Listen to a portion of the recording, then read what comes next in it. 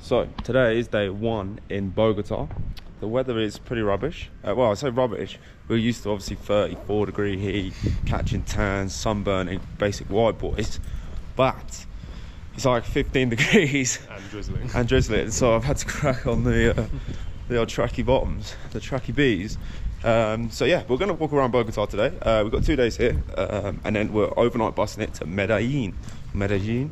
Um, so obviously last night we saw Brie. Hopefully we're gonna see her again tonight as well. Grab some food, um, and then play a local Colombian game. yeah, I can't remember the name. I can't remember the name of it, but that'll be a later problem. But now uh, we've got to walk around what is, I think, a very unbelievable city. So yeah, let's go.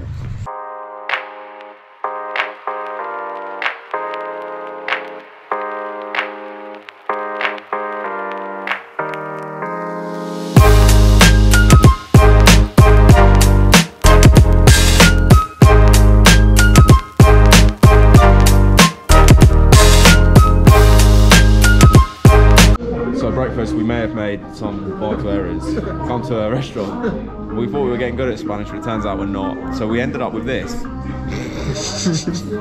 uh, which is a massive, I would say, an array of meat, a couple of baked potatoes. Um, we've also ordered beer at 11 o'clock in the morning. Um, what, how would you say it? Two beers, a sprite, and a hell of a lot of fruit. Um, so yeah, we know that there's capybara on here, and I think it's that one. So we're gonna eat capybara. So yeah, massive guinea pig. Um, and yeah, we're just gonna dig through this and, and see if it gives us the runs, I guess. Yeah, vamos.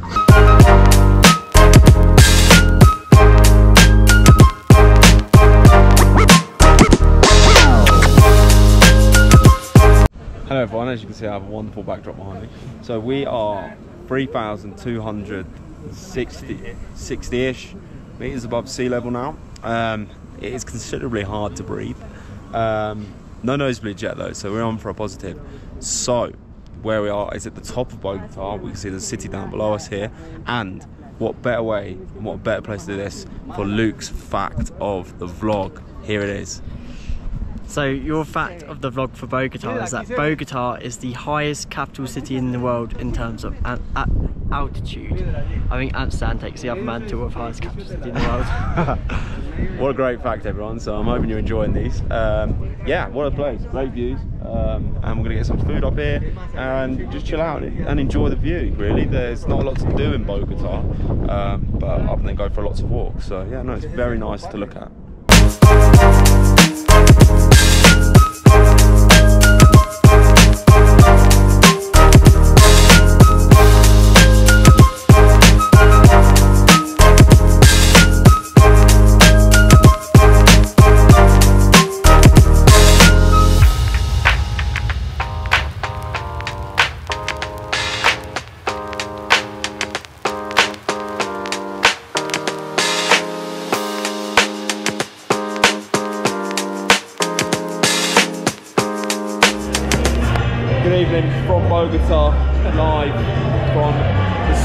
Arena, the gladiators we are.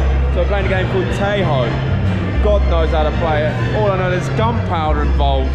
Um, so we've got to throw rocks with gunpowder attached to them to a clay, uh, clay base really, and if it blows up you get points. So yeah, we're gonna give this a go. Um, once again, Brie has sorted us out solid. So we're gonna have a few beers, try and blow some stuff up. So yeah, I love Colombia.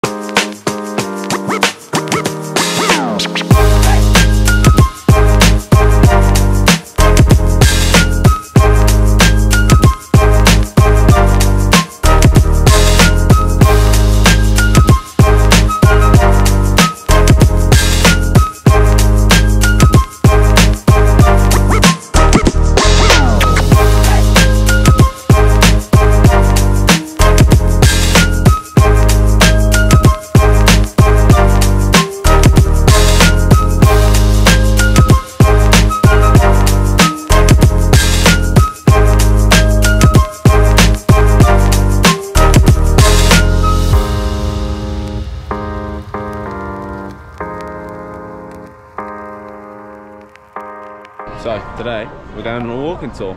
So you're going to learn as much as me because I know absolutely nothing about Bogota. So here we go.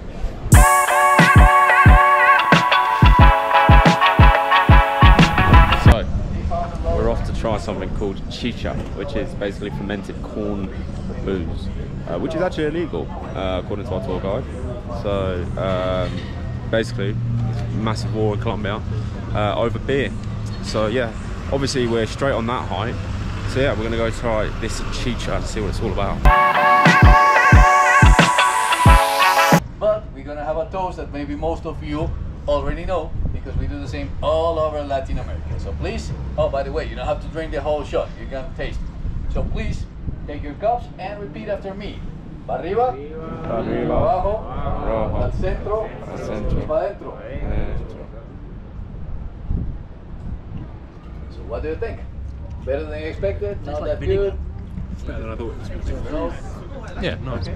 Quite So twangy. if anybody wants more, I have here a couple more shots. Oh. Each out of the Not market. the best, not the worst. You're gonna find different things. You're getting right A real affluent man there, if I've ever seen one. And yeah, it's quite sour, but it's definitely fermented.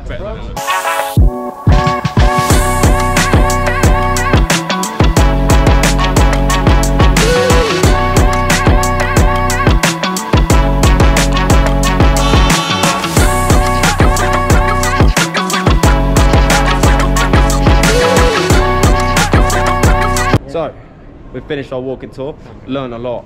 So I'm going to hand you over to Luke Willard for the fun fact of the day. The fun fact of the day is that it's very common and traditional for Colombians to have cheese with their hot chocolate, and to them it's very normal, and they think everyone else in the world does it, but no, it's just a bit, bit weird. But we're gonna go try some. Exactly. So, as Luke says, we're now on our way to try some hot chocolate and cheese, potato soup, and loads of meats. Dish number one of our tour of Colombia is chicharrinas, which is basically, I guess that's pork fillet. isn't it? Pork rind. Pork rind. So, rind, yeah. pork chop maybe. Yeah. Looks like this. So you got obviously a little tortilla to put it in. That's the pork rind, spicy sauce, and a lime. Let's go. Is that pepper? Meal number two of our tour of Colombia food uh, is the hot chocolate with cheese. So, here's the hot chocolate. Comes with a block of cheese, which is light mozzarella, uh, a sweet cake, and a brioche bun. So, you basically break this up, put it in, and then spoon it out. So, let's give it a go. I can smell it from here. That smells filthy. Yeah.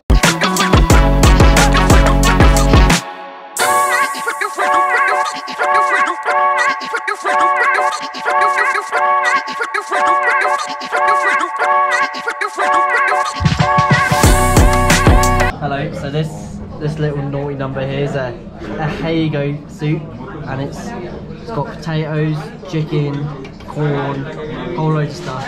It's traditional. Put in some avocado and rice And capers. and capers. So let's do that.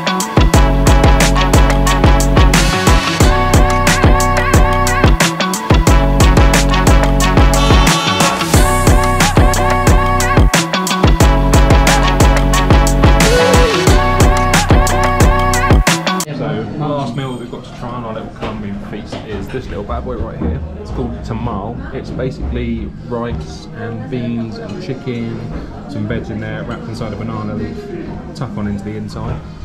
Smashing our way through the soup already. John, thoughts on the soup? Yeah, it's alright. Yeah? Soup? Yeah, yeah, it's good. Good to share. Hot chocolate? Any good? Hot chocolate's good. I feel if I'm gonna go hot chocolate again, it'll be without the cheese. You? Really? Yeah, I just, I, for me, it doesn't. It's not bad. Doesn't add much.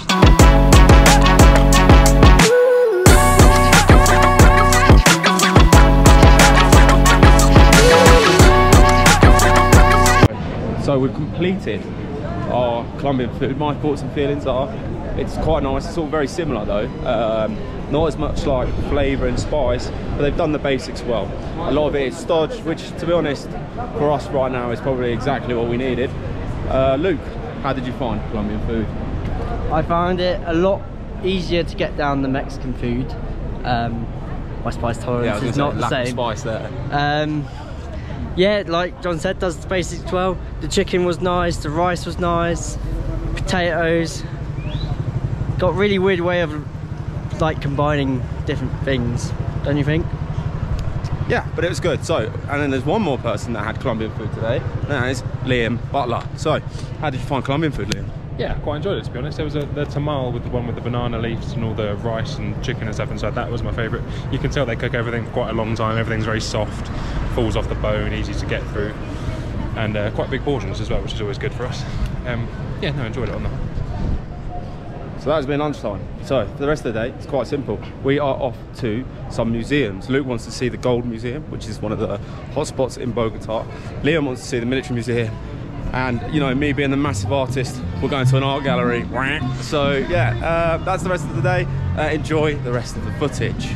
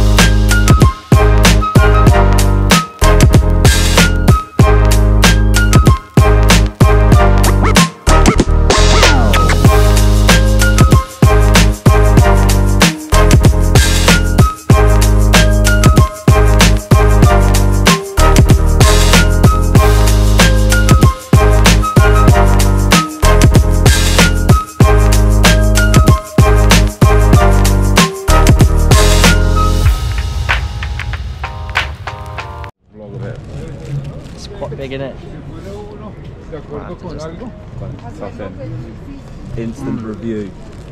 Very nice. Very nice. Ladies and gentlemen, I'm coming from you live from Bogota. This is our first night bus, and we are off to. Where are we off to, Liam? Uh, Medellin, Medellin, which is obviously Pablo Escobar territory. 10 hours away. It's 10 hours away. We thought it was four. We've made a massive error. Hmm. Um, but it's an overnight bus. It's going to take us 10 hours. The time it will leave at 11.30. We get to Medellin about half past nine in the morning. Oh, And then we've got a big day out tomorrow. So, Luca, how do you feel about sleeping on the uh, night bus? Uh, I feel like I won't. it's gonna be a big, Yeah. big night ahead for Luca. Um, but yeah, we're all ready to go. First night bus. We will see you in Medellin.